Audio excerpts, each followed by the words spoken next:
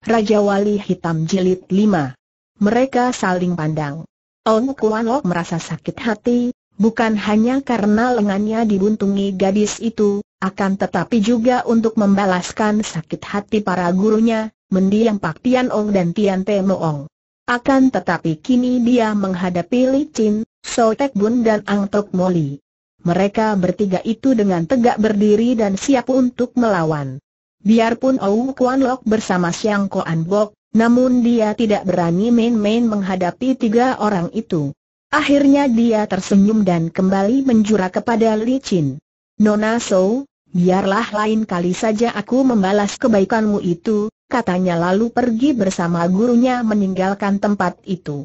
Keadaan menjadi sunyi setelah semua orang pergi. Li Chin mengepal tinjunya. Mengapa ayah melarangku ketika aku hendak menentang dan melawan bangsat itu katanya dengan kesal. Engkau tentu tahu bahwa saat itu sedang diadakan pemilihan Bengcu baru sehingga tidak ada alasannya kalau engkau hendak menyerangnya.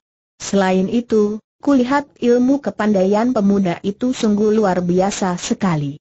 Bahkan Im Yang Sengcu tidak dapat mengatasinya, dan Nenek Cia juga kalah olehnya. Sungguh berbahaya kalau engkau hendak melawan dia, licin.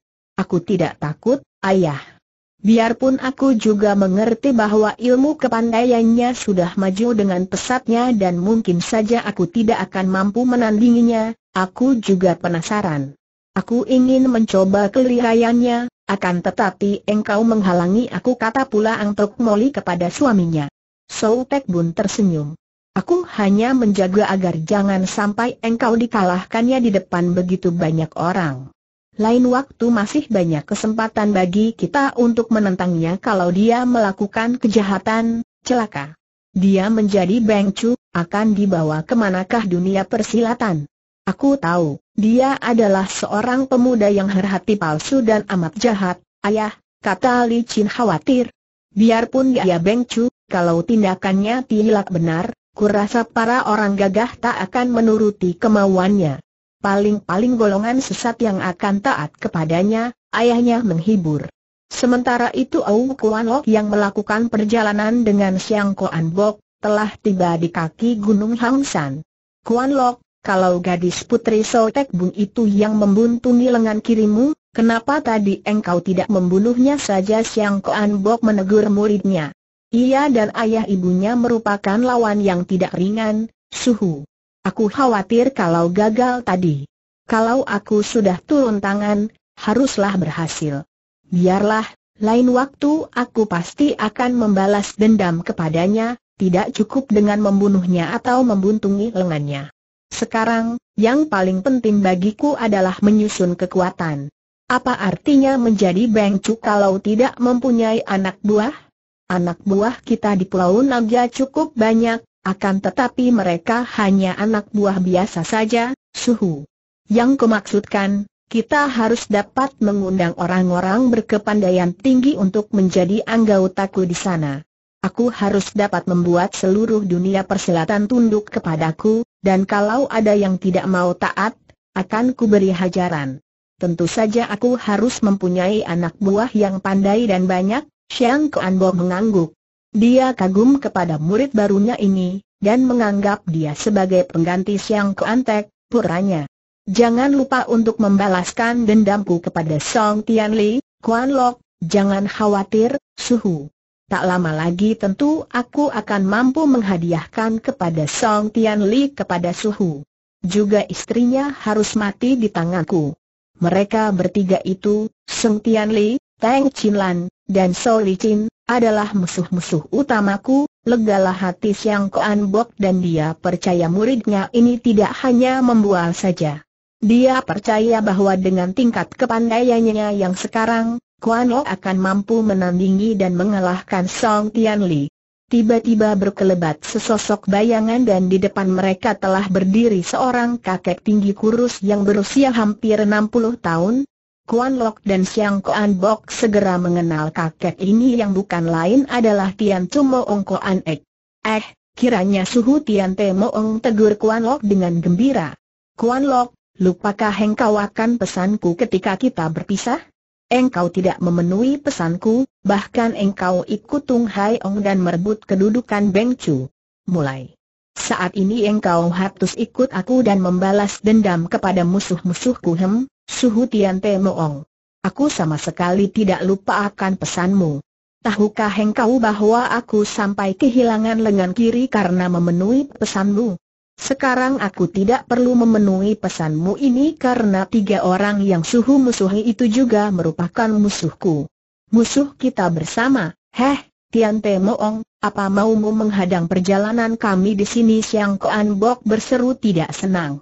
Siang Koan Bok, engkau mencuri muridku Tian Te Moong membalas dengan marah. Tidak, Suhu Tian Te Moong. Suhu Siang Koan Bok tidak mencuriku. Aku yang minta menjadi muridnya dan sekarang kebetulan sekali. Aku sedang mencari-cari orang-orang seperti Suhu ini untuk menjadi pengikut dan pembantuku. Marilah Suhu, engkau ikut denganku ke Pulau Naga dan kita membangun kekuatan bersama. Kalau kita sudah kuat, apa sih sukarnya membasmi musuh-musuh kita itu em, engkau berlagak. Aku menjadi pembantumu. Apakah engkau mimpi? Biarpun engkau sudah menjadi bengcu, engkau tetap muridku. Bagaimana aku sebagai gurumu kini menjadi anak buah musuhmu, biarpun aku muridmu, akan tetapi sekarang aku lebih lihai daripadamu. Sekarang begini saja. Kalau suhu dapat mengalahkan aku, baiklah, aku akan ikut dengan suhu dan menaati semua perintah uhu. Akan tetapi sebaliknya kalau suhu kalah olehku, suhu harus ikut ke Pulau Naga dan membantuku. Bagaimana engkau menantangku? Hem, setelah menjadi murid Siang Koan Bok, engkau berani menantangku, ya? Tidak, aku tidak akan menggunakan ilmu yang kupelajari dari suhu Siang Koan Bok. Aku akan melawan suhu dengan ilmu yang kupelajari dari suhu sendiri, dengan demikian barulah Adil Tian Te Moong tersenyum mengejek. Dia tadi sudah melihat betapa lihainya Ong Kuan Lok. Akan tetapi kalau pemuda itu tidak mempergunakan ilmu silat lain, melainkan menggunakan ilmu silat yang diajarkannya dulu, bagaimana mungkin Kuan Lok mampu menandinginya? Baik, bersiaplah. Xiang Kuan Bok menjadi saksinya hahaha, akan ku saksikan betapa Tian Te Moong kalah oleh muridnya Xiang Kuan Bok tertawa. Awas, lihat seranganku, Tian Te Moong berteriak ganas dan dia sudah menerjang maju dan menyerang dengan ilmu silat Pek Slatok Ciat, tangan beracun salju putih. Ong Kuan Lok cepat mengelak lalu balas menyerang dengan ilmu yang sama. Tentu saja Kuan Lok kurang leluasa memainkan ilmu silat itu karena hanya dengan sebelah tangan, akan tetapi dia memiliki gerakan yang lebih cepat dari gurunya itu sehingga dia tidak sampai terdesak. Hai tanda seru Tian Te Moong mengirim pukulan keras sekali dengan tangan kanannya, mengarah kepala muridnya, akan tetapi Kuan Lok membuat gerakan yang sama dengan tangan kanannya, menangkis pukulan itu sambil mengerahkan tenaga sin kangnya. Wuut, des. Akibat benturan kedua lengan itu, tubuh Tian Te Moong terhuyung ke belakang. Ternyata dia kalah kuat. Nah, suhu telah kalah. Kata Kuan. Lok, sambil tersenyum. Baiklah, dalam pertandingan tangan kosong aku mengaku kalah kuat, akan tetapi coba tahan pedangku. Kalau engkau mampu kata Tian Te Moong sambil mencabut sepasang pedangnya dan menyilangkan sepasang pedang itu di depan dadanya. Baiklah, akan kulayani kehendakmu, suhu dia pun meloloskan pedangnya dari punggung dan keduanya segera bertanding dengan pedang. Kuan Lok tetap memainkan ilmu pedang yang dipelajarinya dari gurunya. Akan tetapi karena memang dia menang cepat dan menang kuat, dia segera dapat mendesak Tian Te Moong. Dia sudah hafal akan gerakan serangan gurunya, maka dia selalu dapat mengelak dan menangkis. Dan setiap kali menangkis, pedang suhunya terpental. Kuan Lok mempercepat gerakannya dan sekali membentak nyaring, sambil memutar pedangnya, dia berhasil membuat sepasang pedang itu terpental dan lepas dari tangan Tian Te Moong. Bagaimana, Suhu, maukah Suhu menjadi pembantuku di Pulau Naga tanya Kuan Lok sambil menyarungkan pedangnya kembali. Tian Te Moong hampir tidak percaya. Muridnya ini benar-benar telah mampu mengalahkannya dalam permainan silat yang pernah diajarkannya. Hahaha, Tian Te Moong, engkau harus mengakui sudah tua dan kalah oleh murid sendiri Siang Koan Bok menertawainya. Dan bagaimana dengan engkau, Siang Koan Bok? Apakah engkau mampu mengalahkannya Siang Koan Bok menggeleng kepalanya? Aku belum mencobanya dan tidak akan mencobanya. Aku siap menjadi pembantu utama dari Ong Kuan Lok. Bagus, suhu Siang Koan Bok menjadi pembantu pertama dan suhu Tian Temo Ong menjadi pembantu kedua. Akan kuat sekali keadaan kita di Pulau Naga. Tian Temo Ong menghela napas dan mengambil sepasang pedangnya. Baiklah, aku suka menjadi pembantumu yang kedua. Tiga orang itu lalu melanjutkan perjalanan mereka menuju ke Pulau Naga Oo, MCH, Oh Kaisar Tian Leong memang merupakan seorang kaisar yang baik dan pandai, akan tetapi tiada manusia di dunia ini yang tanpa cacat. Kaisar Tian Leong suka sekali akan wanita cantik. Kalau sudah melihat wanita cantik, biarpun wanita itu sudah bersuami, akan diusahakan agar wanita itu dapat menjadi miliknya. Selir dan dayangnya ratusan orang banyaknya, namun agaknya Kaisar Kian Liong masih memalingkan mukanya kepada wanita lain yang bukan miliknya. Akan tetapi segala bentuk kesenangan kalau terlalu dituruti, akhirnya membuat orang menjadi bosan juga. Demikian juga dengan Kaisar Kian Liong. Akhirnya dia merasa bosan juga bermain-main dengan wanita cantik. Pada suatu hari, ketika dia duduk dalam tandu, dia melihat wajah seorang di antara para pemikul tandu. Wajah pemuda itu sedemikian menarik hatinya, membuat Kian Leong teringat akan wajah seorang selir ayahnya yang pernah dicintanya akan tetapi dahulu tak pernah dia dapat memiliki selir ayahnya itu. Setelah duduk di bagian dalam istana, dia menyuruh panggil pemuda pemikul tandu setelah pemuda yang berusia 18 tahun itu datang berlutut di depannya, Kaisar Tian Leong semakin tertarik. Seorang pemuda yang tampan sekali, demikian tampan dan halus bersih kulitnya seperti seorang wanita saja. Dia lalu mengangkat pemuda itu menjadi pelayannya. Pemuda itu bernama Hosen. Ketika pada suatu malam Kaisar Tianlong memanggilnya kemudian mengajaknya tidur, pemuda itu diam-diam merasa terkejut dan menganggap kaisarnya telah menjadi gila. Akan tetapi kemudian dia mengetahui bahwa kaisarnya benar-benar tergila-gila kepadanya dan menjadikan dia sebagai kekasihnya. Muiai saat itu, Hosen yang cerdik itu tidak menyia-nyiakan waktunya. Dia diangkat menjadi kepala pelayan. Kalau semua pelayan pria adalah Kasim, orang kebiri, maka dia sendiri tidak dan bahkan diangkat menjadi kepala. Tabun tahun terlewat dan Hosen dapat merayu Seng Kaisar sedemikian rupa sehingga akhirnya dia diberi kedudukan tinggi sebagai Perdana Menteri. Untuk menutupi kecurigaan orang, Kaisar Kian Liong menyuruh Hosen menikah. Peristiwa ini merupakan rahasia, akan tetapi sebaik-baiknya barang busuk ditutupi, baunya tercium juga. Hanya, orang tidak berani membicarakan secara terbuka dan diam-diam saja, pura-pura tidak tahu. Mereka bahkan merasa iri kepada Hosen yang dapat menumpuk kekayaan dari kedudukannya. Peristiwa ini akhirnya terdengar pula oleh Panglima Muda Song Tianli. Panglima muda ini memang sudah mengambil keputusan untuk mengundurkan diri. Ketika mendengar berita itu, dia merasa muak dan mendorongnya untuk cepat mengundurkan diri. Pada suatu hari, dia mohon menghadap Kaisar dan membawa sesampul surat permohonan berhenti dari jabatannya. Kaisar Tian Leong mengerutkan alisnya setelah membaca surat permohonan itu dan menatap wajah Panglima Muda Song Tian Li yang menunduk.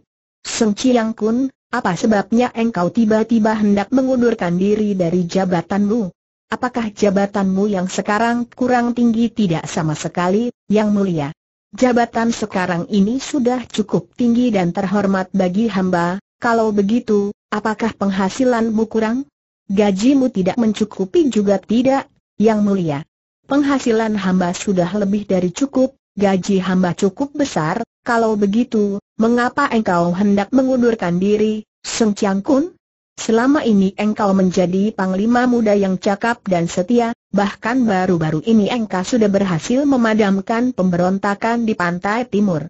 Lalu mengapa mendadak engkau ingin berhenti terus terang saja, yang mulia hamba ingin hidup dalam suasana tenang dan damai bersama anak istri hamba, apakah selama menjadi panglima di sini hidupmu tidak tenang dan tidak damai Song Tian Li memberi hormat. Memang tidak, yang mulia. Terutama sekali kalau hamba melaksanakan tugas, beberapa kali hamba harus berhadapan dan melawan para pendekar yang ikut memberontak. Hamba merasa bersalah dan gelisah, hem, akan tetapi mereka adalah pemberontak yang hanya mendatangkan kekacauan dalam kehidupan negara dan rakyat memang benar, yang mulia. Akan tetapi mereka pun merupakan segolongan pendekar, kalau engkau memihak kepada mereka yang memberontak, Seng Chiang Kun? Sama sekali tidak, yang mulia. Biarpun mereka itu pendekar, kalau mereka bersekutu dengan orang-orang asing dan pemberontak seperti di pantai timur itu, hamba akan tetap menentang, Seng Chiang Kun, apakah sudah engkau pikir baik-baik keputusanmu ini? Kami akan merasa kehilangan sekali kalau engkau mengundurkan diri. Bukankah selama ini kita bersahabat dan kami bersikap baik kepadamu ampun, yang mulia? Memang yang mulia telah memberi anugerah dan kebaikan kepada hamba. Akan tetapi hamba sudah memikirkan dengan matang.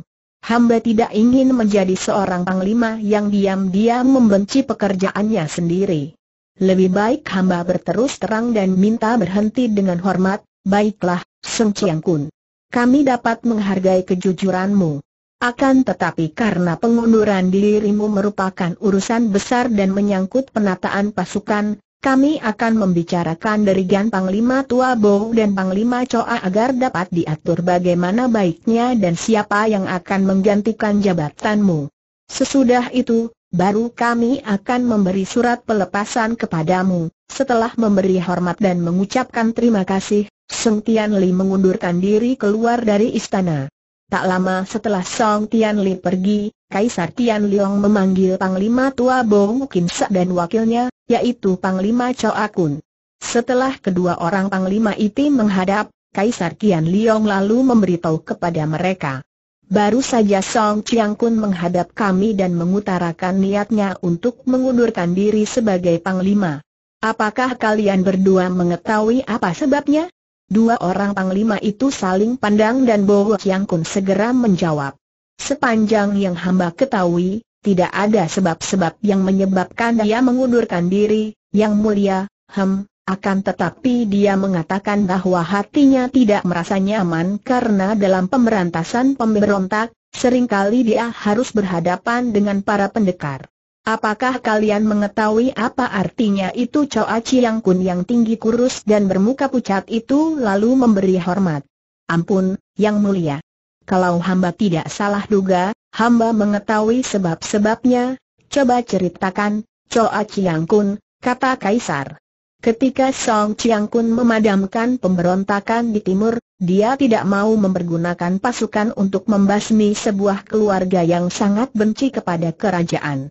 Keluarga itu adalah keluarga Chia dan mungkin keluarga Chia yang telah membunuhi pembesar-pembesar yang setia kepada Paduka.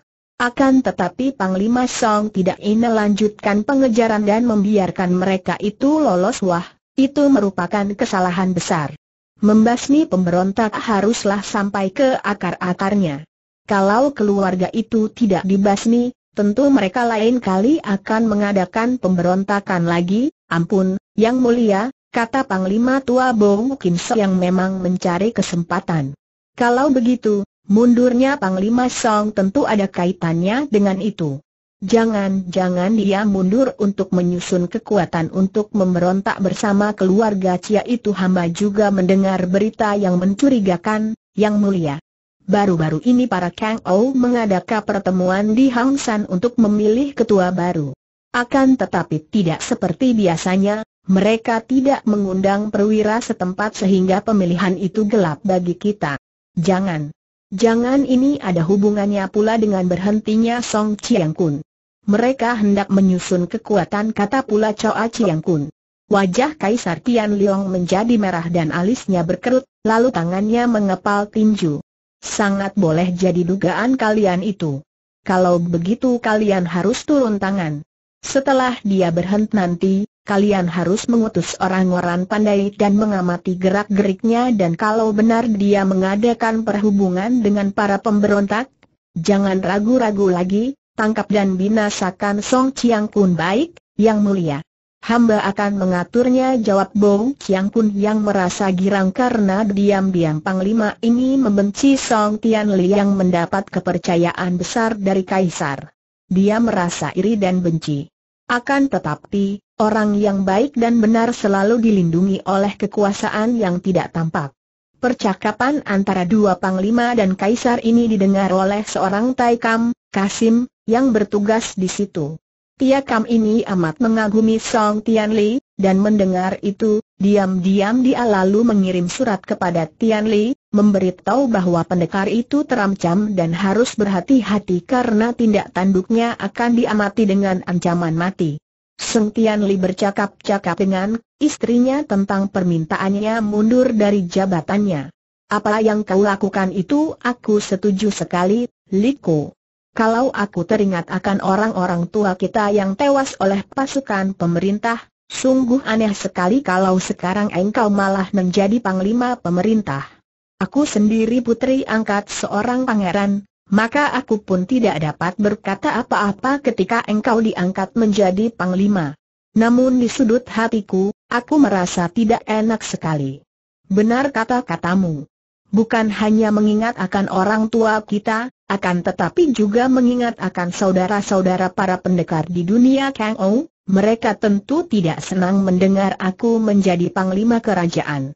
Ayahku dulu adalah seorang tokoh Kunlun Pai yang patriotik yang gagah, akan tetapi anaknya sekarang menjadi panglima kerajaan penjajah. Kalau aku melakukan tugas membasmi pemberontak, aku sering bertemu dengan orang-orang Kangowi yang ikut memberontak. Nah, di situ hatiku menjadi tidak senang sekali karena pekerjaanku ini berlawanan dengan batinku, lalu, kalau engkau sudah mengundurkan diri, Apakah kita juga akan tetap tinggal di kota raja? Liko tidak, Lan Moi. Kota raja bukan tempat yang tepat untuk kita hidup secara aman dan tenteram. Aku akan tinggal di kampung halamanku, yaitu di Dusun Tung Simbun yang tidak jauh dari kota raja.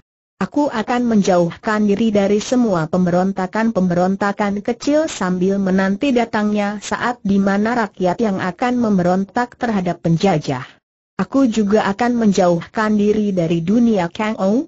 Aku ingin tinggal di dusun di mana dahulu ayahku tinggal dan hidup sebagai seorang petani, akan tetapi kalau sekali waktu aku merasa rindu kepada ibu, bolehkah aku pergi menengoknya di istana ayah tentu saja boleh. Beberapa hari kemudian, surat keputusan dari Kaisar tiba, yaitu yang menyetujui bahwa Tian Li mengundurkan diri dari pekerjaannya sebagai panglima. Karena setelah tidak lagi menjadi panglima muda dia harus meninggalkan gedung yang sekarang menjadi tempat tinggalnya, maka setelah menerima surat keputusan itu, Tian Li segera memboyong keluarganya pindah ke dusun Tung Sin Bun. Pangeran Tenggisu, ayah tiri Chin Lan, terkejut sekali mendengar akan mundurnya Tian Li dari jabatannya. Dia segera mengunjungi Tian Li dan bertanya tentang hal itu. Akan tetapi setelah menerima penjelasan Tian Li, pangeran yang bijaksana itu pun dapat mengerti. Mantunya adalah seorang pendekar besar, tentu saja merasa tidak enak kalau harus bermusuhan dengan sesama pendekar yang mendukung pemberontakan terhadap pemerintah Manchu. Dia hanya menghela napas dan memesan kepada mantunya itu agar jangan melibatkan diri dengan pemberontakan karena dia akan merasa berduka sekali kalau mantunya menjadi musuh kerajaan. Citung Sin Bun, Tian Li membeli rumah ayahnya yang dulu, membangunnya kembali dan membeli beberapa petak sawah ladang dan selanjutnya dia hidup sebagai petani. Sama sekali dia tidak tahu dan tidak mengira bahwa segala gerak-geriknya diawasi dengan tajam oleh orang-orang yang disebar oleh Bong Chiang Kun dan Choa Chiang Kun. Dia hidup sebagai seorang petani, mempergunakan tenaga buruh tani untuk menggarap sawah ladangnya, juga dia berusaha untuk memperdagangkan hasil bumi. Tian Li hidup dengan tenang dan sederhana bersama Teng Chin Lan dan Song Hon San, putra mereka yang kini sudah berusia tiga tahun. Kota An amat ramainya. Kota besar ini menjadi penting karena berada di dekat sungai Wong Ho yang menghubungkannya sampai ke lautan di Teluk Pohai, dan menghubungkan kota An dengan barat. Lalu lintas perdagangan melalui sungai Wong Ho menjadi kota An makin ramai dikunjungi banyak pedagang dari lain daerah.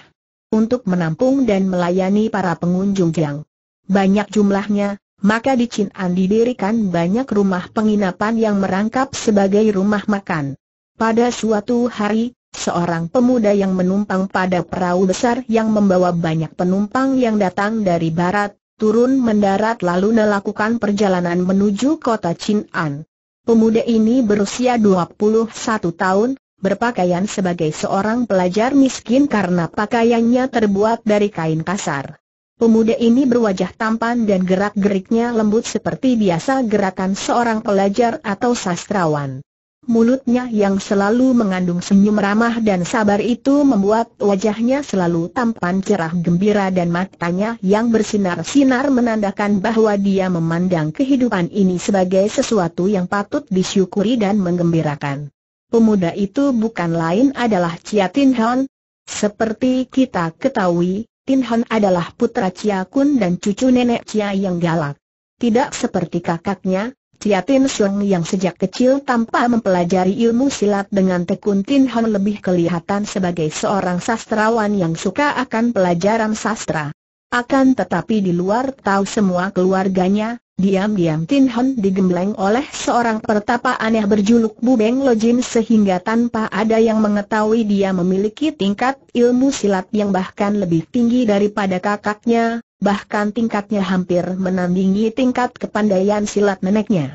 Akan tetapi, kalau neneknya dan seluruh keluarganya berwatak patriot dan mati-matian membenci kerajaan Manchu dan berusaha dengan segala daya untuk menentang pemerintahan, sebaliknya Tin Han tidak menyetujui sikap neneknya yang tidak segan bersekutu dengan orang-orang Jepang dan orang-orang sesat. Tin Han memiliki jiwa patriot sejati yang tidak mau dikotori oleh hubungan dengan orang-orang dari dunia sesat, apalagi dengan orang-orang Jepang. Yang sesungguhnya hanya bajak-bajak laut itu. Dia berjiwa pendekar yang menegakkan kebenaran dan keadilan. Kalau keluarganya memusuhi semua pembesar walaupun ada di antara mereka yang baik dan bijaksana, Tin Han tidak memusuhi pembesar yang bijaksana, hanya menentang pembesar yang menindas rakyat, pembesar korup yang hanya memperkaya diri sendiri tanpa memperdulikan kesengsaraan rakyat. Terhadap pembesar yang bijaksana, Tin Han hanya memperingatkan agar mereka tidak menjadi antek mancu menindas rakyat. Ketika keluarganya bersekutu dengan orang-orang Jepang dan para tokoh sesat, membantu pemberontakan yang dilakukan Foa Chiang Kun di pantai timur, Tin Han tidak ikut, Bahkan beberapa kali dia menghalangi keluarganya yang menangkap Licin dan juga Tian Li yang menyamar sebagai orang biasa dalam penyelidikannya. Dalam melakukan hal ini Tin Hon mengenakan pakaian dan topeng hitam sehingga dia dikenal sebagai si kedok hitam. Akan tetapi akhirnya dia ketahuan oleh keluarganya dan dalam pertempuran sebagai kedok hitam menentang keluarganya dan membebaskan Licin, dia terkena tendangan neneknya dan terjatuh ke dalam jurang yang amat dalam. Baru pada saat itu keluarganya tahu bahwa si kedok hitam adalah Tin Hon. Telah diceritakan di bagian depan, betapa Tin Hon yang terjatuh ke dalam jurang tertolong oleh Hak Tiao Ko, burung Raja Wali hitam yang besar itu dan bertemu dengan gurunya, Bu Beng Lo Jin dan Tai Kek Chin Jin kakek pertapa pemilik burung Raja Wali yang berilmu tinggi. Selanjutnya, Tin Han menjadi murid Tai Kek Chin Jin.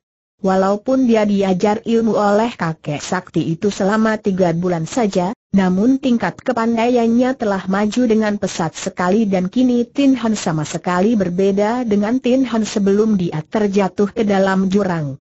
Dia telah menguasai dua macam ilmu yang diajarkan Tai Kek Chin Jin, yaitu pertama, ilmu silat Hek Tiao Kun, silat Raja Wali Hitam, dan cara menghimpun tenaga Sin Kang yang disebut Kong Sim Sin Kang yang membuat dia dapat bergerak cepat sekali dan tenaganya menjadi amat kuat. Setelah berpisah dari Tai Kek Chin Jin, Tin Han lalu mulai melakukan perjalanan merantau. Pertama-tama dia pergi ke kota Hiu Chu di kaki bukit Lo Sian San untuk mencari tahu perihal keluarganya. Akan tetapi di tempat ini dia hanya melihat bekas tempat tinggal keluarganya saja dan tidak ada seorang pun mengetahui di mana adanya keluarga Cia sekarang. Dari situ dia lalu melakukan perjalanan merantau, memenuhi pesan gurunya bahwa dia harus bertindak sebagai seorang pendekar pembela kebenaran dan keadilan. Pada suatu hari, dia tertarik untuk menumpang perahu dan setelah perahu tiba di dekat Cinan, dia mendarat karena hatinya tertarik untuk pergi ke Cinan, kota yang ramai itu. Perjalanan dari tepi Wonghe ke Cinan memakan waktu sehari. Dari tepi sungai itu telah dibangun jalan yang cukup lebar dan para pedagang yang datang berkunjung, biasanya melakukan perjalanan bersama-sama agar lebih aman. Bahkan di Cinan maupun di tepi sungai itu, banyak Piao Su, pengawal bekerja untuk mengawal, mereka agar selamat dalam perjalanan. Jarang ada yang berani melakukan perjalanan seorang diri karena dia dapat menjadi korban orang-orang jahat yang suka merampok. Dengan berkelompok mereka dapat menyewa beberapa orang piaus untuk mengawal mereka, apalagi mereka yang membawa barang dagangan dan menggunakan gerobak-gerobak untuk mengangkut barang-barang dagangan mereka itu. Di antara para piaosu dan para penjahat itu sudah ada kerjasama yang baik. Para piaosu itu suka memberi uang jalan kepada para penjahat dan mereka tidak akan mengalami gangguan. Akan tetapi Tin Hon yang ingin menikmati perjalanan itu, melakukan perjalanan seorang diri saja. Dia melangkah santai sambil menggendong buntalan pakaian di punggungnya, menikmati keindahan pemandangan alam di sepanjang perjalanan. Lembah sungai Wang Hadi waktu tidak sedang meluap karena banyak turun hujan, merupakan lembah yang subur sehingga pemandangan indah sekali. Ketika Tin Han sedang berjalan seenaknya, terdengar seruan-seruan dari belakang. Dia cepat menengok dan berjalan minggir. Ternyata serombongan pedagang membawa dua gerobak barang dagangan sedang melakukan perjalanan cepat. Mereka dikawal oleh sepuluh orang piaosu yang membawa golok telanjang di tangan. Tin Hon berhenti dan memandang mereka itu. Kenapa orang-orang ini membawa pengawal, pikirnya. Tentu perjalanan di sini kurang aman. Baru saja dia berpikir demikian, dia melihat di depan muncul belasan orang yang menghadang di jalan. Tin Hon yang ingin tahu segera mendekat dan menonton dari kejauhan. Dia melihat betapa para piaosu itu menghampiri mereka yang menghadang di tengah Jaion dan mereka bercakap-cakap, lalu para piaosu itu menyerahkan barang entah apa kepada mereka. Mereka bercakap sambil tertawa-tawa dan setelah itu, belasan orang itu berloncatan menghilang ke balik semak-semak. Rombongan itu lalu melanjutkan perjalanan mereka. Tin Hon mengangguk-angguk. Biarpun dia tidak tahu apa yang dibicarakan oleh para piaosu dan para pedagang tadi, dia dapat menduga. Tentu para piaosu itu telah memberi uang jaion kepada para perampok itu sehingga rombongan itu dibiarkan lewat dengan aman. Ini merupakan semacam pemerasan pikirnya. Perampok-perampok itu menerima suapan dari para piaosu dan ini merupakan kerja sama mereka. Tentu para piaosu itu minta ganti dari para pedagang. Lalu ke mana perginya para petugas keamanan? Di mana-mana dia melihat terjadinya perampokan-perampokan tanpa adanya petugas keamanan untuk membasmi para penjahat itu. Ini hanya menunjukkan bahwa mereka yang bertugas menjadi komandan pasukan keamanan daerah itu tidak bekerja dengan benar. Kalau mereka itu bijaksana, tentu sudah mendengar akan adanya gangguan ini dan mudah saja bagi mereka untuk membasmi para perampok itu. Sungguh kasihan rakyat, seolah tidak ada yang melindungi, dan terpaksa harus menyuap para perampok. Yang paling menderita tentulah para pembeli barang dagangan itu karena dengan adanya biaya yang banyak dalam perjalanan, tentu barang dagangannya akan dinaikkan harganya. Akhirnya yang menderita adalah rakyat yang membutuhkan barang-barang itu. Tin Hon melanjutkan perjalanannya. Ketika dia tiba di tempat di mana para penghadang tadi muncul, dia melihat dua orang tiba-tiba muncul dari balik semak-semak. Dia tidak menjadi heran atau kaget karena dia sudah tahu bahwa mereka tentulah perampok yang sengaja akan memungut pajak kepada setiap orang yang lewat di situ. Berhenti bentak seorang di antara mereka yang bertubuh tinggi besar dan berwajah seram. Ada apakah kalian menyuruhku berhenti tanya Tin Han sambil tersenyum ramah. Kalau kalian hendak menanyakan jalan, aku sendiri orang yang baru datang di sini dan tidak mengenal jalan, Hayo bayar dulu pajak jalanan kepada kami bentak pula si tinggi besar sambil mengamankan goloknya yang telanjang. Pajak jalanan apa yang kau maksudkan? Aku tidak mengerti, kata Tin Han, pura-pura. Yang lewat di sini harus membayar pajak jalanan kalau ingin selamat sampai di Cinan akan tetapi aku tidak mempunyai uang, katanya. Kalau tidak punya uang, tinggalkan buntalan yang kau gendong itu dan kami akan menggeledahkan kantung pakaian muah, jangan begitu, pakaianku untuk berganti tinggal dua tel, Tin Han memang hanya tinggal dua mereka. Sobat, buntalan ini adalah pakaian, dan uangku hanya mengeluarkan uangnya yang tel, lalu menyodorkan kepada. Untuk apa uang dua tel? Hayo lepaskan buntalan itu perampok kedua yang bertumbuh pendek gendut merenggutkan buntalan pakaian itu dari pundak Tin Hon. Kemudian, yang tinggi besar menggeledah saku pakaian Tin Hon akan tetapi dia tidak menemukan apa pun yang berharga.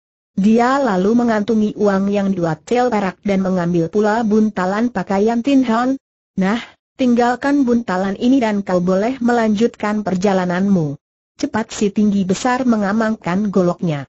Tin Hon cepat melanjutkan perjalanannya.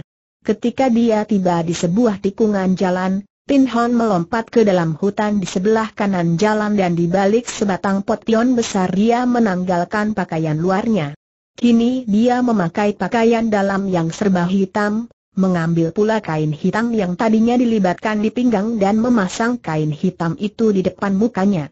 Yang tampak kini hanya sepasang matanya. Setelah menanggalkan pakaian luarnya dan mengenakan pakaian hitam yang memang sudah dipakainya di sebelah dalam, gerakan Tin Hon berubah. Dengan gesit sekali dia lalu melompat dan berlari ke tempat tadi. Dia tidak melalui jalan raya, melainkan menyusup-nyusup dalam hutan itu mencari Ari. Akhirnya dia menemukan gerombolan perampok itu. Ternyata gerombolan itu mempunyai sebuah pondok besar di tengah hutan dan mereka sedang minum-minum, bahkan ada yang mabok dan tertawa-tawa. Hahaha, hasil kita hari ini cukup memuaskan kata seorang di antara mereka. Wah, lama-lama kita bisa menjadi malas, mendapatkan hasil besar tanpa bekerja sedikit pun, Asen, kenapa sastrawan miskin itu tidak kau biarkan lewat saja? Sialan besar, uangnya hanya dua tel, dan buntalan itu hanya terisi pakaian butut diklak ada seorang pun yang boleh kita biarkan lewat tanpa membayarkan sesuatu. Terlalu enak bagi sastrawan itu kalau dia lewat tanpa membayarkan apa-apa. Biar dia tahu rasa, datang ke Cinan tanpa sekeping pun uang di sakunya dan tanpa pakaian pengganti sepotong pun, hahaha semua orang tertawa geli membayangkan sastrawan miskin itu kebingungan di Cinan. Tin Han mengerutkan alisnya dan dia segera melompat turun dari atas pohon, tiba di depan pondok. Semua perampok itu terkejut bukan main ketika tiba-tiba ada seorang berpakaian hitam dan bertopeng hitam pula berada di situ. Kepala gerombolan itu seorang tinggi kurus yang wajahnya kekuning-kuningan. Melihat orang bertopeng, dia menjadi marah dan segera maju dan membentak, siapa kau dan mau apa datang ke sini sementara itu teman-temannya sudah mengambil posisi mengepung Tin Han. Tidak penting siapa aku. Yang penting, lekas kalian kumpulkan semua barang dan uang hasil rampokan kalian dan serahkan kepadaku bentak Tin Han, Kepala gerombolan itu tentu saja menjadi marah bukan main. Mereka adalah perampok-perampok ganas, bagaimana kini ada orang yang berani merampok mereka? Jahanam busuk, tidak tahukah engkau dengan siapa engkau berhadapan? Aku adalah Toat Beng Uihou, harimau kuning pencabut nyawa, yang sudah terkenal di wilayah ini. Hayo katakan siapa engkau dan cepat berlutut kalau engkau tidak ingin nyawamu ku cabut sambil berkata demikian, kepala gerombolan yang nama julukannya Harimau Kuning pencabut nyawa itu telah melolos sebatang golok besar yang tampaknya berat dan tajam sekali. Tin Hon tersenyum di balik topengnya. Engkau yang jahanam busuk. Kalau tidak cepat kalian berikan semua hasil rampasan dan sogokan dari para piautsu itu, jangan salahkan aku kalau engkau menjadi buto Ihou, harimau kuning tanpa kepala dimaki dengan ejekan seperti itu, kepala perampok menjadi marah bukan main. Bunuh jahanam ini perintahnya dan 15 orang anak buahnya sudah menerjang maju sambil menghujankan golok mereka. Mereka mengira bahwa orang bertopeng itu akan roboh dengan tubuh hancur lebur. Akan tetapi, terang-terang-terang golok mereka sating beradu dan si kedok hitam sudah tidak berada di tengah-tengah mereka. Mereka memutar tubuh dan melihat betapa si kedok hitam sudah berdiri di sana sambil tertawa-tawa. Dengan marah mereka menerjang lagi. Akan tetapi sekali Tin Hon tidak mengelak dan begitu dia menggerakkan kaki tangannya, golok-golok berpelantingan disusul para pengeroyok itu roboh satu demi satu. Melihat ini, Toat Beng Ui Hou menjadi marah sekali dan sambil mengeluarkan bentaka panjang nyaring dia pun lari menghampiri dan menyerang Tin Hon dengan goloknya. Serangan yang cukup dahsyat itu tampaknya tidak diperdulikan oleh Tin Hon, akan tetapi setelah golok itu Mendekat kepalanya, tiba-tiba tangan kirinya menyambar dan menyambut. Dengan tangan telanjang Tin Hon menangkap golok itu dan tangan kirinya membabat lengan kanan kepala gerombolan. Trak, aduh kepala gerombolan menjerit kesakitan karena lengan kanannya patah tulangnya ketika bertemu dengan tangan Tin Hon. Sebelum dia dapat berbuat selanjutnya, sebuah tendangan Tin Hon membuat tubuhnya terlempar ke belakang sampai 5 meter dan jatuh berdebuk di atas tanah. Para anak buah perampok itu menjadi penasaran dan semakin marah. Mereka menyerang lagi, akan tetapi kini tubuh Tin Hon berlompatan ke sana sini membagi-bagi tamparan dan tendangan sehingga dalam waktu singkat 15 orang anak buah gerombolan itu sudah jatuh tersungkur semua. Bukan main kagetnya Toat Beng Uiho, dia pun menjadi ketakutan dan maklum bahwa dia bertemu dengan seorang sakti. Maka, tanpa malu-malu lagi dia lalu berlutut dan mengangguk-anggukan kepalanya ke arah Tin Han sambil berkata, Tai Hiap, pendekar besar, ampunkan kami semua. Dia meratap dan melihat ini, 15 orang anak buahnya juga segera berlutut sambil mengangguk-anggukan kepalanya. Tin Han bertolak pinggang. Hayo cepat lakukan perintahku. Keluarkan semua uang dan barang rampasan dan suapan yang kalian terima dari para piauksu itu Kepala perampok itu memberi isyarat dan lima orang anak buahnya setengah berlari ke dalam pondok dan mereka keluar lagi sambil membawa banyak barang dan uang, ditumpuk di depan Tin Han. Tin Han mengambil tumpukan uang yang banyaknya tidak kurang dari 50 sel perak. Dia mengambil pula buntalan pakaiannya, memasukkan uang itu ke dalam buntalannya lalu menggendong lagi buntalan itu di punggungnya. Aku hanya mengambil uang dan buntalan ini, barang selebihnya boleh kalian miliki. Akan tetapi, mulai saat ini kalian tidak boleh lagi melakukan penghadangan dan perampokan di sini. Kalau kalian masih melakukannya, aku akan datang kembali dan tidak akan memberi ampun kepada kalian semua akan kubunuh kalian satu demi satu Tin Hon membalikan tubuhnya dan hendak pergi dari situ. Ampun, Tai Hiap.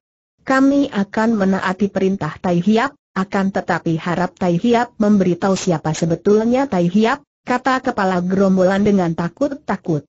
Hem, sebut saja aku Hek Tiao Leng Hiong, pendekar Raja Wali Hitam setelah berkata demikian, sekali berkelebat Tin Han sudah lenyap dari depan mati mereka. Tin Hon kembali ke tempat di mana dia meninggalkan pakaiannya dan dengan cepat dia mengenakan lagi pakaian biasa di sebelah luar itu dan sambil menggendong buntalannya dan melanjutkan perjalanannya menuju Chin An. Dia tersenyum senang. Uangnya tinggal dua tel, dan uang lima puluh tel yang dia rampas dari para perampok itu amat berguna baginya. Untuk biaya perjalanannya, Melakukan perjalanan merantau membutuhkan uang untuk biaya dan dari mana dia dapat memperoleh uang itu. Kalau perlu dia harus mencuri atau mengambil dari tangan para penjahat. Di kota Cinan, Tin Hon bermalam di sebuah rumah penginapan yang juga merupakan sebuah rumah makan yang besar. Setelah mendapatkan kamar, dia pergi ke depan bagian rumah makan dan mengambil tempat duduk di meja yang berada di sudut belakang. Selagi dia menanti datangnya pesanan makanan, dia melihat-lihat ke bagian lain dari ruangan rumah makan itu. Dia tertarik ketika melihat seorang laki-laki berusia kurang lebih 30 tahun duduk seorang diri menghadapi meja. Laki-laki ini bertubuh sedang dan wajahnya cukup tampan, pakaiannya sederhana berwarna serba hijau. Yang menarik perhatian Tin Han adalah sebuah tongkat bambu kuning yang terselip di punggungnya. Aneh sekali orang itu, pikirnya.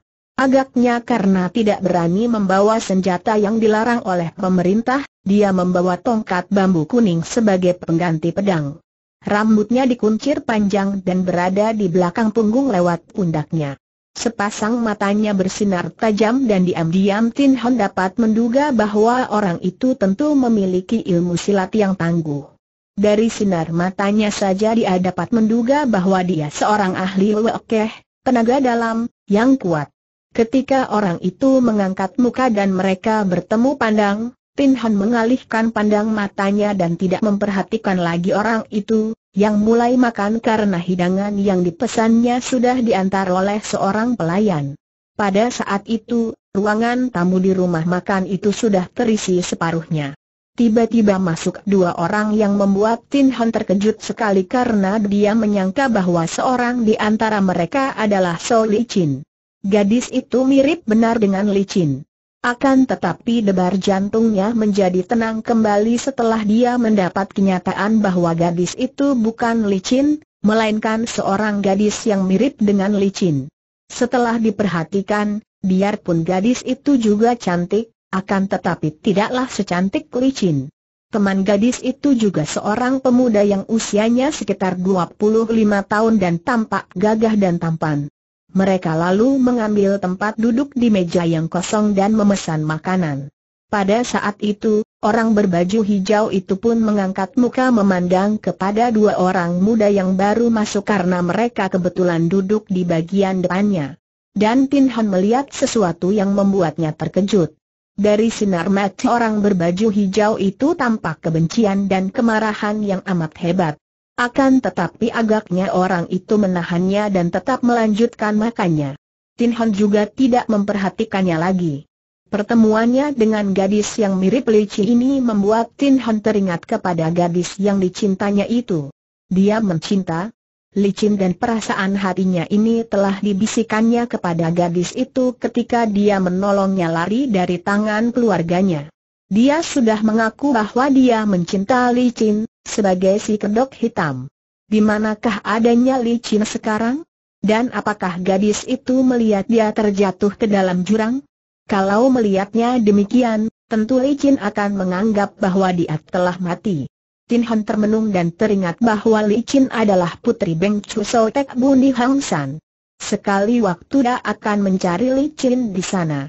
Tentu saja dia tidak dapat mencarinya sebagai si kedok Hiram karena si kedok hitam pernah melukai Sotek Bun yang tentu akan menganggapnya sebagai musuh. Dia akan mencarinya, sebagai Tin Han. Licin tentu belum mengetahui bahwa dialah si kedok hitam, dan sebagai Tin Han dia dapat menemui gadis itu dengan aman, tidak terganggu oleh ayah gadis itu. Berdebar jantungnya teringat akan Ligin. Bagaimana gadis itu akan menyambutnya kalau bertemu dengannya sebagai Tin Hon? Sepanjang ingatannya, Licin bersikap baik kepadanya sebagai Tin Hon, sikap bersahabat. Entah bagaimana penerimaan gadis itu terhadap dirinya sekarang, apalagi kalau dia menyatakan cintanya. Lamunannya terganggu dengan datangnya pelayan yang membawa makanan pesanannya. Dia lalu mulai makan dan kembali dia mengerling ke arah pemuda baju hijau. Pemuda baju hijau itu telah selesai makan sekarang, akan tetapi dia masih minum-minum sambil terkadang melirik ke arah muda-mudi yang makan di meja yang berada di depannya. Tin Hon merasa curiga. Sinar mata pemuda baju hijau itu selalu ditujukan kepada si gadis, tidak pernah memandang si pemuda kawan gadis itu. Tin Han teringat akan sesuatu dan terkejut. Dia pernah mendengar akan adanya penjahat yang disebut Jai Hwe Acat, penjahat pemetik bunga, yang kerjanya menculik gadis-gadis cantik untuk diperkosa. Jangan-jangan pemuda baju hijau itu sebangsa Jai Hwe Acat. Jai Hwac atau bukan, pemuda baju hijau itu bersikap mencurigakan dan dia harus waspada. Biarpun gadis dan pemuda itu juga kelihatan sebagai orang-orang yang tidak lemah, namun kalau perlu mereka harus dilindungi, apalagi gadis itu yang mirip licin. Tak lama kemudian, ketika pesanan makanan gadis dan pemuda itu diantar oleh pelayan, pemuda baju hijau bangkit berdiri, membayar makanan dan hendak pergi keluar. Dia melewati meja gadis dan pemuda itu berhenti dan tiba-tiba bertanya kepada gadis itu. Maafkan saya, bukankah nona ini Siso bukan jawab gadis itu tak senang karena ada orang laki-laki yang berani mengajaknya bicara. Ah, maaf, kata pemuda baju hijau dan dia pun pergi dari situ. Tin Hon yang mendengar pertanyaan itu berdebar-debar. Shiso. Kalau begitu, agaknya pemuda baju hijau itu pun mengira bahwa gadis itu adalah So Licin. Apa hubungannya dengan Licin? Akan tetapi, jelas bahwa hubungan itu tidak akrab. Buktinya pemuda itu mengira gadis itu licin. Kalau sudah berhubungan akrab, tentu dapat mengetahui bahwa ia bukan licin. Tin Han sengaja memperlambat makannya karena dia ingin menanti sampai gadis dan pemuda itu selesai makan. Dia harus membayangi mereka secara diam-diam, untuk melindungi mereka karena dia semakin curiga kepada pemuda baju hijau itu. Setelah dua orang itu selesai makan dan membayar kepada pelayan lalu keluar dari rumah makan, Tin Hon juga keluar sambil masih menggendong buntalan pakaiannya. Dia tidak meninggalkan buntalan itu di kamarnya karena ada uang 50 tel perak dalam buntalan. Diam-diam dia membayangi kedua orang itu yang segera keluar di jalan besar. Belum jauh gadis dan pemuda itu pergi, Tin Han melihat pemuda baju hijau yang tadi keluar dari tikungan jalan dan membayangi mereka berdua. Diam-diam dia tersenyum geli. Orang berbaju hijau itu membayangi pemuda dan gadis sedangkan dia membayangi si pemuda baju hijau. Siapakah pemuda baju hijau yang mencurigakan itu? Seperti telah diduga oleh Tin Han, pemuda itu bukan orang biasa, melainkan seorang jagoan yang tinggi ilmu silatnya. Dia bernama Yao Seng Kun dan dia adalah murid dari mendiang Jeng Chiang Kwei Chi Semti. Seperti kita ketahui, Jeng Chiang Kwei yang bermusuhan dengan Angtok Moli Busyang, ketika sedang merayakan hari ulang tahunnya, diserbu oleh Angtok Moli dan Licin. Ibu dan anak ini mengamuk. Angtok Moli mengamuk dan merobohkan banyak anak buah Jeng Chiang Kwei, sedangkan datuk dari guha tengkorak itu sendiri dihadapi Licin. Dalam pertandingan satu lawan satu yang amat seru, akhirnya Jeng Chiang Kwei dapat terbunuh oleh Licin. Pada saat itu, Yao Seng Kun juga berada di antara mereka akan tetapi melihat betapa gurunya tewas, dia pun seperti yang lain-lain. Menyerah dan tidak melawan lagi. Akan tetapi diam-diam dia mendendam kepada Li Chin. Setelah Li Chin dan ibunya pergi, Yao Seng Kun rajin melatih diri dengan ilmu silat yang dia pelajari dari gurunya. Demikian tekun dia melatih diri sehingga dia memperoleh banyak sekali kemajuan. Setelah merasa dirinya kuat, dia mulai pergi untuk mencari musuh besarnya. Akan tetapi, sebelum dia pergi mencari licin yang dia tahu bersama Ang Tok Moli berada di Bukit Ular dia kedatangan tamu. Tamu itu adalah utusan Tian Te Moong yang mencari Jeng Chiang Kwei. Oleh Tian Te Moong Jeng Chiang Kwei ditawari kedudukan yang baik kalau mau bekerja sama dan mau datang ke Pulau Naga di mana Beng Chu yang baru berada. Utusan Tian Te Moong dengan jelas memberitahu kepada Yao Seng Kun bahwa kini kedudukan Beng Chu yang baru amat kuat, mendapat dukungan dari Siang Koan Bok dan Tian Te Moong. Beng Chu bermaksud untuk mengumpulkan para datuk, diajak bekerja sama untuk menentang pemerintah Manchu dan mengambil alih kekuasaan. Kelak kalau perjuangan mereka berhasil, mereka semua tentu akan memperoleh kedudukan yang tinggi dan mulia. Sayang, guruku telah tewas terbunuh oleh musuh, kata Yao Seng Kim. Aku sedang hendak mencari musuh besar itu untuk membalas dendam atas kematian Suhau. Utusan itu bertanya, Siapakah musuh besar yang telah membunuh Jeng Chiang Kwei? Dia adalah So Li Chin dan ibunya, Ang Tok Moli. Ah, mereka adalah orang-orang yang lihai sekali kata utusan itu. Kalau engkau suka bersekutu dengan kami, tentu akan lebih mudah untuk membalas kematian gurumu, Utusan itu adalah seorang tokoh dunia sesat yang ditugaskan untuk membujuk tokoh-tokoh Kangou lainnya dia bernama Mahuan dan mempunyai pergaulan yang luas di dunia golongan sesat. Maka, begitu mendengar bahwa Jeng Chiang KWI telah meninggal dunia, dia membujuk Yao Sengkun untuk bergabung dengan Pulau Naga. Dia tahu bahwa sebagai murid Jeng Chiang KWI, tentu Yao Sengkun berkepandaian tinggi pula, apalagi majikan baru dari Cuba, tengkorak ini juga memiliki anak buah yang hampir 50 orang banyaknya. Yao Sengkim tertarik sekali. Baiklah, aku akan berkunjung dulu ke Pulau Naga dan melihat keadaan. Kalau nanti aku merasa tertarik untuk bergabung, Aku akan membawa semua anak buahku ke sana. Demikianlah, Yao Sen Kun lalu mengadakan perjalanan menuju ke Pulau Naga dan kebetulan pada hari itu dia tiba di Ceman dan bertemu dengan seorang gadis yang mirip sekali dengan Licin. Dia baru satu kali melihat Licin, yaitu ketika gadis itu bertanding melawan burunya, karena itu melihat gadis yang mirip sekali dengan Licin, dia mengira bahwa gadis itu benar-benar musuh besarnya. Biarpun setelah bertanya apakah gadis itu sisau dan mendapat jawaban bukan, hatinya masih penasaran dan diam-diam dia menanti di luar rumah makan lalu membayangi gadis dan pemuda itu. Sengkun sama sekali tidak tahu bahwa ada orang lain yang membayangi dia. Siapakah gadis yang mirip licin dan siapa pula pemuda yang melakukan perjalanan bersamanya? Pemuda itu bernama The Siang In, seorang pemuda yang tinggal bersama orang tuanya di Ho Chiu. Adapun gadis yang mirip licin itu bernama The Kiok Hwa, adik kandungnya. Kakak beradik ini baru saja meninggalkan perguruan mereka di Kunlun Pai dan mereka hendak pulang ke Ho Chiu. Karena perjalanan itu amat jauh, setibanya di Cinan mereka kehabisan uang. Sebagai pendekar-pendekar Kunlun, mereka pantang melakukan hal tercela untuk mencari uang. Maka setelah menghabiskan sisa uang untuk membeli makanan di rumah makan, mereka lalu keluar untuk mencari tempat ramai dengan maksud untuk mencari denya dengan memainkan ilmu silat di depan umum. Setelah kakak beradik ini tiba di sebuah taman umum yang ramai, keduanya lalu berniat untuk memamerkan ilmu silat mereka di tempat itu dan minta bantuan uang dari para penonton.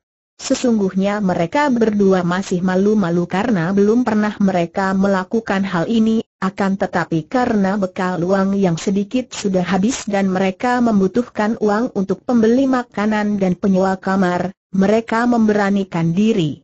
Bisyang In dengan muka kemerahan berdiri dan bertepuk tangan memancing perhatian banyak orang. Saudara-saudara sekalian yang budiman teriaknya dan orang pun mulai berdatangan dan membentuk lingkaran menonton apa yang hendak diperbuat pemuda dan gadis cantik itu. Saudara-saudara yang budiman. Kami kakak beradik yang berasal dari Ho Chiu, karena di tengah perjalanan kehabisan uang, kami hendak mempertontonkan ilmu silat dengan harapan saudara sekalian sudi memberi imbalan sekedarnya untuk kami pakai sebagai bekal perjalanan kami yang masih jauh. Setelah berkata demikian, dia pun mengangguk kepada Kiok Hwa. Gadis ini pun bangkit berdiri, memberi hormat keempat penjuru sambil berkata, harap cui, saudara sekalian, tidak menertawakan ilmu silat yang masih dangkal. Setelah berkata demikian, mulailah gadis itu bersilat. Mula-mula gerakannya lambat, makin lama semakin cepat sehingga akhirnya orang hanya melihat bayangannya berkelebat ke sana sini. Ilmu silat Kun Lun Pai memang cepat dan indah sehingga semua orang yang menonton menjadi tertarik sekali dan ramailah orang bertepuk tangan. Keramaian ini menarik perhatian lebih. Banyak orang lagi sehingga tempat itu penuh dengan penonton. Orang-orang bertepuk tangan ketika Kiok Hwa menghentikan gerakan silatnya dengan sikap manis, lalu memberi hormat keempat penjuru. Sekarang tiba giliran saya untuk memperlihatkan sedikit ilmu silat, harap Cui tidak menertawakannya, kata Siang Indan dia pun melolos sabuk dari pinggangnya yang berwarna biru. Setelah memberi hormat keempat penjuru, dia pun lalu bersilat mempergunakan sabuk biru yang panjangnya 2 meter itu. Memang indah sekali gerakan pemuda ini. Sabuk yang lembek itu kadang berubah tegak lurus ketika dia memainkannya dan dari putaran sabuk itu terdengar angin menderu seolah yang diputar itu adalah tongkat dari baja saja. Sementara Siang In memperlihatkan kebolehannya, Kiok Hwa berjalan berkeliling sambil mengembangkan ujung bajunya ke mana orang-orang melemparkan uang. Sebentar saja ujung baju yang dikembangkan itu telah penuh dengan uang dan Kiok Hwa menuangkannya ke atas tanah, kemudian berkeliling lagi dengan baju yang kosong dikembangkan seperti tadi. Ketika ia tiba di sebelah kiri, tiba-tiba dengan seorang pemuda baju hijau yang pemuda yang tadi menegurnya ketika makan. Kiok Hwa berhenti melangkah hijau itu berkata dengan suara lantang saja ia berhadapan dikenalnya sebagai berada di rumah dan pemuda baju. Nona, aku suka menyumbang sebanyak sepuluh tel perak kalau engkau dapat bertahan melawanku selama dua puluh jurus mendengar ini, semua orang berdiam dan memandang ke arah Yao Sengkun. Bahkan The Siang In yang sedang bersilat lalu menghentikan gerakannya dan dia pun menghampiri adiknya, dan memandang kepada pemuda baju hijau. Dia juga teringat bahwa pemuda itu adalah pemuda yang tadi bertanya kepada adiknya apakah adiknya Sisou. Dia memandang penuh perhatian. Seorang pemuda yang usianya sekitar 30 tahun, pakaiannya serba hijau dan wajahnya juga tampan bertubuh sedang. Rambutnya yang juga dikuncir panjang itu amat tebal dan tergantung di belakang pundak. Di punggungnya terdapat sebatang tongkat bambu kuning. Xiang Nin segera memberi hormat kepada orang itu dan berkata dengan lembut, Sobat, kami berdua hanya mencari tambahan bekal luang di jalan dengan mempertontonkan sedikit ilmu silat kami yang tidak ada artinya. Adikku tidak akan bertanding dan bertaruh dengan siapa pun juga, Sobat, apakah engkau takut kalau aku akan melukai atau mencelakakan adikmu ini? Sama sekali tidak, Sobat. Aku hanya tertarik melihat ilmu silatnya dan ingin mencobanya. Untuk itu, aku akan memberi bantuan sebanyak 20 cel perak. Baik ia kalah atau menang, ia akan kuberi 20 cel perak terima kasih atas kebaikanmu, sobat. Bagaimana kalau aku saja yang mewakili adikku, berlatih sebentar denganmu tidak bisa, aku tertarik akan permainan silat nona ini, bukan permainan sabukmu tadi. Nah, Bagaimana pendapat para saudara yang menonton? Apakah tawaranku tadi tidak patut?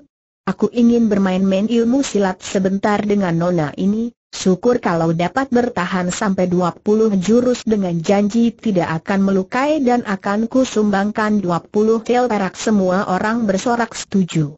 Tentu saja selain mereka ingin melihat gadis itu menerima 20 tel perak, juga mereka ingin menyaksikan pertandingan ilmu silat. Ilmu silat gadis itu cukup tangguh, maka orang berbaju hijau ini tentu memiliki kepandaian sehingga dia berani menawarkan uang 20 sel perak.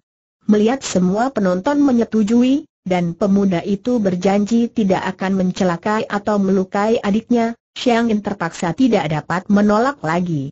Baiklah, biar adikku melayanimu selama 20 jurus katanya dan kepada adiknya dia berkata, Hwe Amoy, Berhati-hatilah kau, Kiok Hwa mengangguk dan orang berpakaian hijau itu lalu mengambil uang dari sakunya sebanyak 20 sel perak. Dengan gerakan sembarangan dia melemparkan 20 potong kecil perak itu ke atas tumpukan uang yang tadi telah dikumpulkan Kiok Hwa dan potongan perak kecil-kecil itu jatuh tepat di atas tumpukan uang dengan rapih membentuk lingkaran seperti ditata dengan tangan saja. Kiok Hwa segera memasang kuda-kuda di depan Sengkun dan berkata, aku telah bersiap eh, Nona. Aku menjadi malu sekali kalau harus menyerang terlebih dulu. Engkau adalah seorang wanita, maka biarlah engkau yang lebih dulu menyerangku, kata Sengkun dengan sikap sembarangan, tidak memasang kuda-kuda seperti Kiok Hwa.